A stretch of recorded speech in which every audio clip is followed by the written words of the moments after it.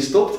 Maar zo, je, wilt dat, je wilt dat tonen van het leven nuchter is leuker dan het leven eh, als je dronken hebt. Hè. Vandaar ook ben veel met geloof bezig. Ik deel daar ook veel over, omdat ik het, leven met God makkelijker vind dan zonder God.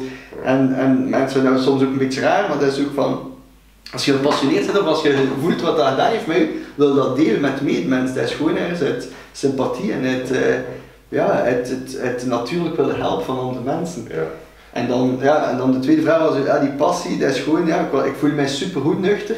Ik kon veel meer dingen doen, ik was veel productiever, kon beter werken. En, en allee, ik voelde mij energetisch ook veel beter, lichamelijk beter. En ik had zoiets van, ja, ik voelde mij gewoon super goed en je wordt dat dan delen. Maar dan, mijn, mijn stappen zijn een beetje als volgt geweest. Allee, ik, ik deed een job vroeger, ik was verkoper in een firma. Maar ik voelde zo van, Allee, zo 25 jaar, zo'n beetje levensvraag, van ga ik dat eh, heel mijn leven doen? En, en ik zou dat niet heel mijn leven doen, ik, ik voel dat er meer was in het leven dan verkoper zijn. Ja. En eh, dan ben ik eigenlijk gewoon gestopt eh, in die job, gewoon gestopt. En dan ben ik eigenlijk beginnen zoeken van oké, wat kan ik doen dat al een beetje in lijn ligt? Ik wist nog altijd niet wat ik precies wou doen, maar ik wist wel dat ik het leuk vond om met persoonlijke ontwikkeling bezig te zijn, om mezelf een beetje in vraag te stellen. Dus dat waren zo trainingsinstituten of coachingsinstituten. Ik voelde mij daardoor aangetrokken, mensen helpen. En dan ben ik eigenlijk terechtgekomen bij Karel van de Velde. Dat is ondertussen ook al acht jaar geleden. En eh, het was fantastisch om daarmee samen te werken. Dat was een trainingsinstituut om mensen te coachen op, eh, op eh, werkvlak, maar ook op privévlak. En ik heb daar eigenlijk ja, een, een achttal maanden gewerkt. Ik heb er heel veel geleerd. Ze hebben mij daar super goed ontvangen. Maar ik voelde gewoon zo dat, dat ik een eigen missie had. Ik was eigenlijk, eh, dat ik een jaar en een half nucht was, was ik ergens in een boek gaan schrijven. Het was zo een schrijfweek met Geert Kimpen. En dat kwam gewoon in mijn mail en kwam mij onmiddellijk inschrijven. Omdat ik altijd zo voel, ja, ik mijn verhaal opschrijven. En dat is dan eigenlijk later een boek van de druppel geworden. En dan was ik op die schrijfweek en, en er waren er twintig mensen en ik werkte toen bij Karel van de Vel, wat dat fantastisch was. Maar elk mens zei tegen mij, ja maar moeten wij een ding doen, wij een ding doen. Alcohol is zo belangrijk, het is zo'n probleem. En ik ben er een beetje ja, brainwashed, maar zo, ja eigenlijk moet misschien mijn eigen ding doen. En dan heb je dat gewoon besproken ook met Karel van de Velde en met eh, het instituut. En dan eh, zijn onze wegen een beetje gescheiden. En ik ben dan 1 januari 2013 gewoon als alcoholcoach begonnen. En hoe dat ik het ging doen, ik wist niet wat ik ging doen, ik wist het ook allemaal niet.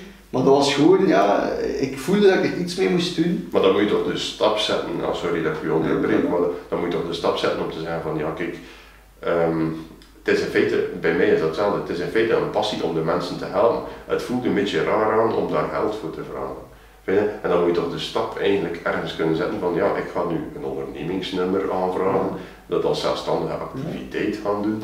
En, eh, en dan nog, ja, hoe komen de mensen dan bij u terecht? Dat is, ja, Maar ik, ik was al zelfstandig, bij Karel van der Velde was ik als zelfstandig begonnen. Dus op zich, de, de switch van het een naar het ander was al iets gemakkelijker voor mij, omdat ik gewoon al zelfstandig was. En ehm, ja, geld voor vragen, dat is natuurlijk een Hans proces. Dat heeft ook te maken met zelfwaardering en al. Maar dat is gewoon, ja, dat was mijn job. Weet je, als ik naar een dokter ga, moet, allee, je betaalt een dokter ook. Als je naar een diëtiste gaat, betaalde hij die diëtiste. Je betaalt mensen voor een dienst. Dat is gewoon zo. Natuurlijk, dat bestond niet echt, alcoholcoach. Maar psychiaters helpen ook mensen, die vragen er ook geld voor. Psychologen, die vragen er ook geld voor. Dus op zich was dat niet abnormaal. En ook, ik was daar eigenlijk, allee, ik was ook vrijgezel in die tijd. Ja, nu vrouw, dochter en al iets minder tijd, maar in die tijd was ik vrijgezel en ik was daar echt, ik, ik stond op iedere dag om 8 uur 's morgens en ik ging gaan slapen om 12 uur s'avonds en ik was er iedere dag 16 uur mee bezig. Ik ging gaan netwerken, mensen leren kennen. Ja, nu met coronatijd is dat misschien wat moeilijker, maar ik deed van alles. En dan, eh, ja, dat, ja, ik was gewoon gepassioneerd door dat doen en dan mijn eigen kenbaar maken, dan een boek schrijven. En langzaamaan is dat zo'n beetje beginnen rollen, maar dat was gewoon, ik was geobsedeerd daarmee bezig, constant eh, ideeën uitwerken, artikels schrijven. En dan heb ik inderdaad eh, zo, wat, ja, de klanten beginnen krijgen. En eh, ja, ik vroeg je daar in het begin ja, niet, niet zoveel voor en zo, maar ja, dat was een beetje oefenen, een beetje zoeken. Maar het was altijd zoiets van, allee, ik wist wel altijd dat ik nog ook zelf misschien wel wat problemen had en zo, hè, maar dat was altijd zo van, kijk, ik weet wel dat ik nuchter kan blijven. ja. En dat is, mensen komen bij mij om nuchter te blijven, zo, want ik had eh, soms moeilijke relaties in mijn leven, dus ik voel me daar niet 100% goed in. Ook qua werkvlak, ja, ik verdiende niet echt veel geld, dus ik kon hij de mensen niet allemaal bij helpen, maar rond alcohol nuchter te blijven, dat kon ik goed. Dus mijn focus was, oké, ik blijf nuchter op die manier, die manier. En natuurlijk, ja, langzaamaan, ja, ik ben eigenlijk dan door die boekschrijven van de druppel, ben ik eigenlijk de nationale krant geweest. Dat was acht jaar geleden of zeven jaar en een half geleden.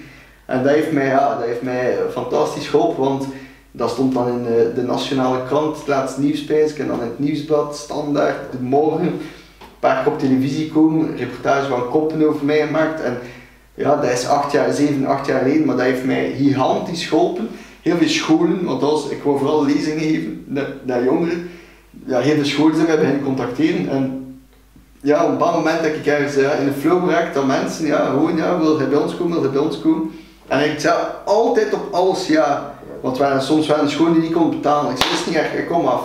Dan waren er, um, het waren altijd uh, soms uh, Rotary clubs, ja, maar, maar, we kunnen niet betalen, dat is niet erg, ik doe dat. En ik deed gewoon alles wat er bij mij binnenkwam, zeg ik gewoon ja. Ik ben ooit, ik weet nog, ze hebben mij ooit een keer gevraagd voor Pukkelpop, vijf jaar geleden. Ja, kun je drie minuten komen babbelen op Pukkelpop? Ja, dat is drie uur rijden. Ja, ik zeg, het is goed, ik doe dat. En kijk, die drie minuten, het jaar daarna, heb ik drie keer, drie dagen na elkaar, twintig minuten mogen babbelen. Omdat ze, omdat ze dat goed die drie minuten. En bij mij was dat gewoon, ja, we doen dat. Ik moet mijn missie verspreiden. Ik moet duidelijk maken aan mensen dat je ook een leven kunt leiden zonder alcohol. En ja, ik, ik voel gewoon de drang om dat te, om dat te delen. En wat zeg je dan bijvoorbeeld tegen die jongeren? Dat snap ik niet, ook niet goed, want jongeren is een hele moeilijke doelgroep, hè, want die denken van alcohol, dat, dat hoort samen met feesten en, en uh, we moeten... Uh, mijn batterij bijna uitvallen, dus als ja. het gedaan is, het gedaan. Dus, hoe, wat zeg je dan tegen jongeren om hen te overtuigen dat ze ofwel moeten minder met alcohol drinken, of dat ze het uh, verstandiger moeten aanpakken, of gewoon volledig stoppen, want die mensen zijn er toch nog totaal niet klaar voor. Nee, maar dat kan ik eigenlijk wel doen, maar kijk, ik ga het even op, uh, op stop zetten, we gaan het verder doen, want anders kan het zijn dat hij, dat hij hem niet, niet, niet, niet pakt.